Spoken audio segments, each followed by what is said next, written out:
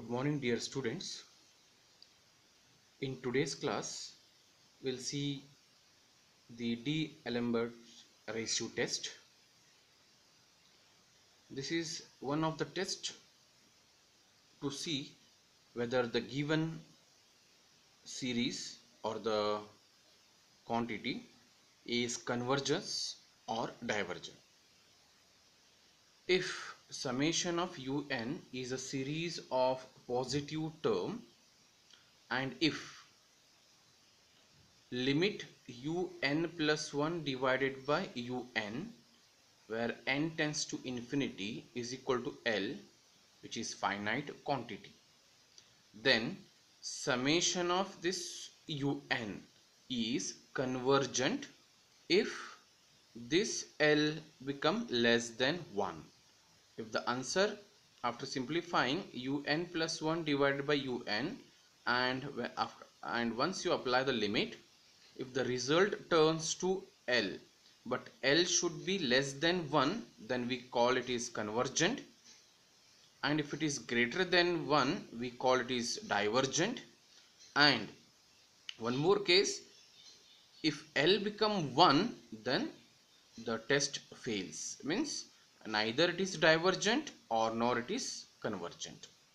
So this is the case for D'Alembert ratio test. So here when to apply this D'Alembert ratio test I want to highlight the points here now. So first point nth term of the series involves variable like x raised to n x raised to 2n etc then in such cases we can apply D'Alembert test. Second point nth term of the series involving n factorial or n plus 1 factorial or n factorial square etc such term if it is coming in nth term of the given series then we can go for D'Alembert test next one more way. The number of in the numerator and denominator increases steadily. Means 1 then I can say the next term is uh, 2 into 2 uh, into 3 next one is what here? 2 into 3 into 4 means that is increasing order. So in such cases we can see that uh, we can apply for for the nth term we can apply what here? D'Alembert test. So very important thing is what here? They will uh, we have uh, they will give the nth term or from the series we have to generate the nth term of the given series. Then we have to make uh, un plus 1 then un then we need to proceed so just i will give uh, steps to solve the uh, D'Alembert ratio test now now steps to solve D'Alembert ratio test. Step 1 writing for the general term un for the given series. Means they will give un or they will give series. So that series we need to convert in terms of nth form. Second step replace n by n plus 1 and find for n plus u of n plus 1 because we know that in D'Alembert test we have the two uh, fractions uh, that is un plus 1 as well as un un will get from the uh, nth form only. But in that wherever n is there if you replace that n by n plus 1 we can uh, find the value of un plus 1 once we simplify un plus 1 and un so we need to take limit as n tends to infinity. Then we need to apply what here? D'Alembert ratio test. So with the help of this uh, regards uh, we'll go for one of the example now.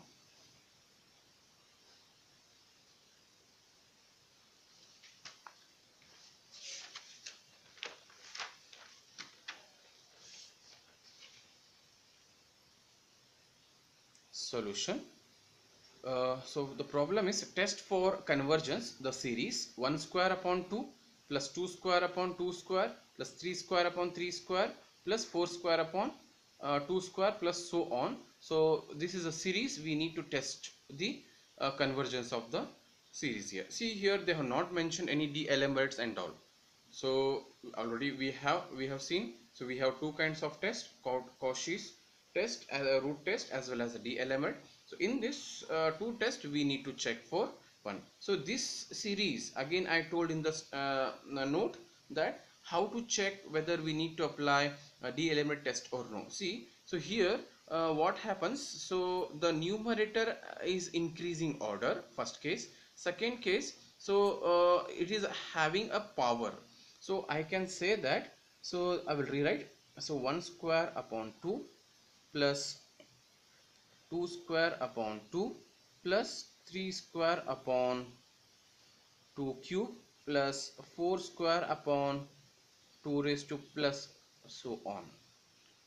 So I will write I want to write a nth term. See I can say that 1 square numerator 1 square 2 square 3 square 4 square so on. I can say that it is n square. Nth term is n square divided by 2 raised to 1 okay so this is 2 square uh, 2 raised to 1 2 raised to 2 2 raised to 3 2 raised to 4 so on. So we can mention this one as what here? 2 raised to n. So this is a nth term of our given quotient series. Means I can say the general form of our given series now. So for this you can see here so it is n square form and so we can apply D'Alembert uh, ratio test. Now we shall apply. D'Alembert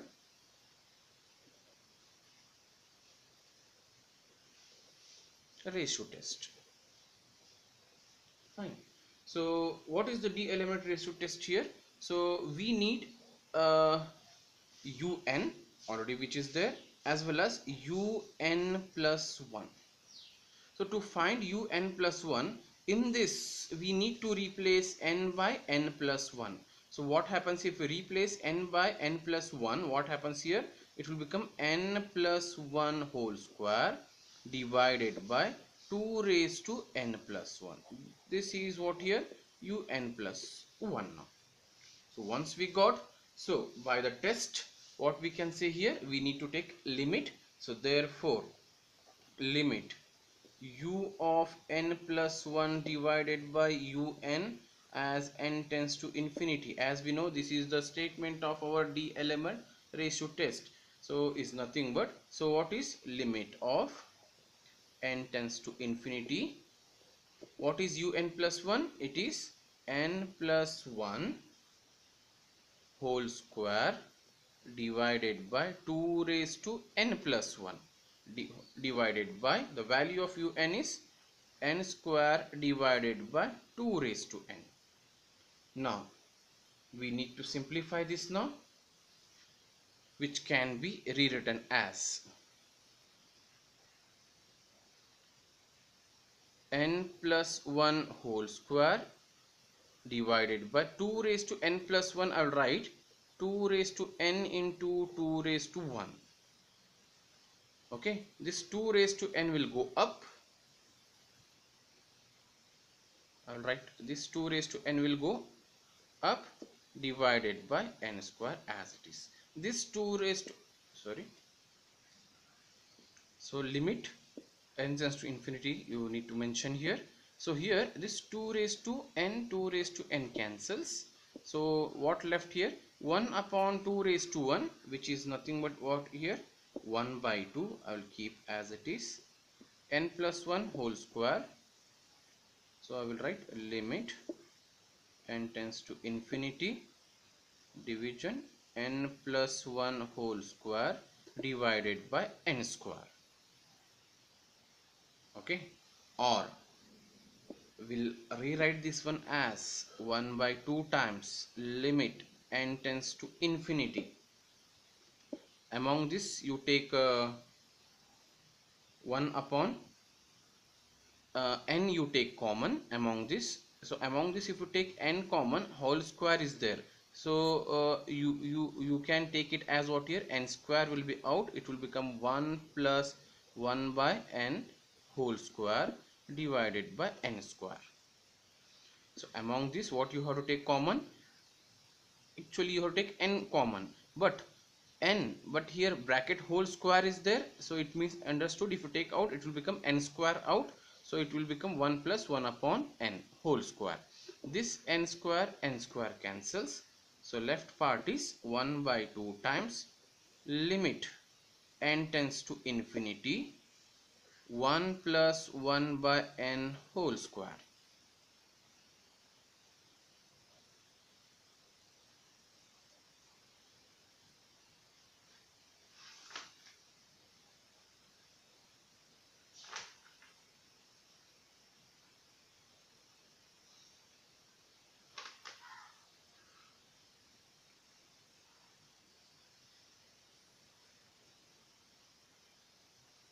now apply the limits. What happens here?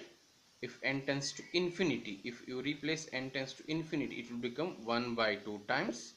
If you apply so 1 plus 1 upon infinity is 0 square which is nothing but 1 by 2 into 1 plus, uh, 0 is 1 1 square is 1 so we got 1 by 2 if you got 1 by 2 which is what here? Greater than 0 or less than here so it is uh, less than 1 if less than 1 what condition says here? If result is less than 1 convergent greater than 1 divergent. We got the value L answer how much we got? 1 by 2 is less than 1 means we can say that the series is convergent. So we can say that so here thus by ratio test. We can say it is ratio test also. Ratio test. Summation of un is convergent. So in this way we need to check or we can test the convergence by D'Alembert ratio test. Now next example is test for convergence of the series 3 upon 4 plus 1 plus 3 square upon 4 square plus 1 plus 3 cube upon 4 cube plus 1 plus 3 raised to 4 upon 4 raised to 4 plus 1 so on. So the given series I had taken. So you can see that here again this is in increasing order okay so we can go for the D'Alembert ratio test so un how to generate the nth form of this series is what here so you can observe the numerator 3, 3 square, 3 cube, 3 raised to 4. So I can write the numerator as what here? 3 raised to n. Fine. Next, denominator 4 plus 1, 4 square plus 1, 4 cube plus 1, 4 raised to 4 means 4 is common. So 4 raised to n plus 1. This is the nth form of the given series and what is u of n plus 1 in place of n you replace n plus 1 so what happens here? It will become 3 raised to n plus 1 and this will become what here? 4 raised to n plus 1 plus 1 so this is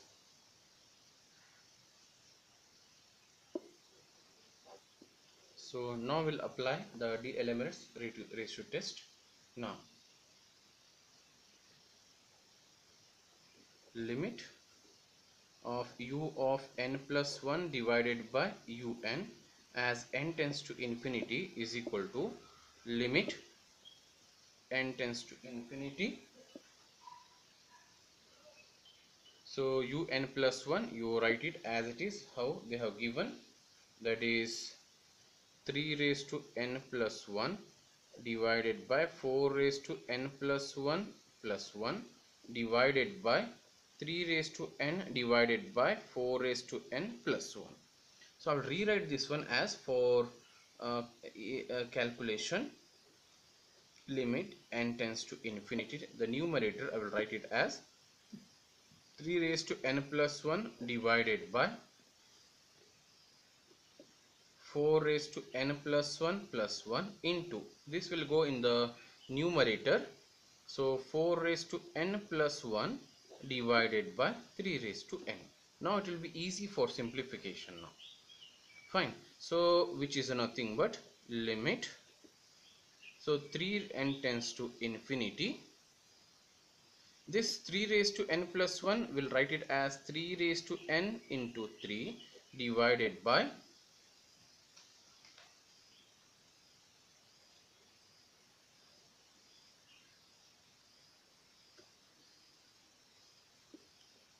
Four raised to n plus one plus one into four raised to n plus one divided by three raised to n. This three raised to n, three raised to n cancels. Left part you collect it and write it, which is limit n tends to infinity. This three, this 4 raised to n plus 1 divided by 4 raised to n plus 1 plus 1 so always we have to take the uh, any n term outside only this 3 limit n tends to infinity. From the numerator I will take 4 raised to n common. So what left here? 1 plus 1 upon 4 raised to n. Fine. Divided by in the new uh, denominator also will take 4 raised to n plus 1 out. So what left inside? 1 plus 1 upon 4 raised to n plus 1 now on simplification 4 raised to n and among these 4 raised to n get cancels so left part is limit n tends to infinity this 3 so 4 raised to n and among these 4 raised to n 1 get cancelled so here 4 is left so 3 upon 4 so 1 plus 1 upon 4 raised to n divided by 1 plus 1 upon 4 raised to n plus 1. Now apply the limits. If you apply the limits, limit n tends to infinity 3 by 4 means I will write here. So we are applying limit means only 3 by 4 which is 1 plus. If you apply 4 raised to infinity is value upon infinity is 0 1 okay uh, means uh, here uh, it will become n infinity. So it will become here